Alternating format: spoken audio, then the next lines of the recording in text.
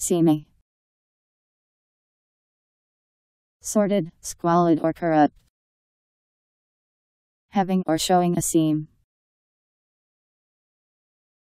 S E A M Y. Seamy.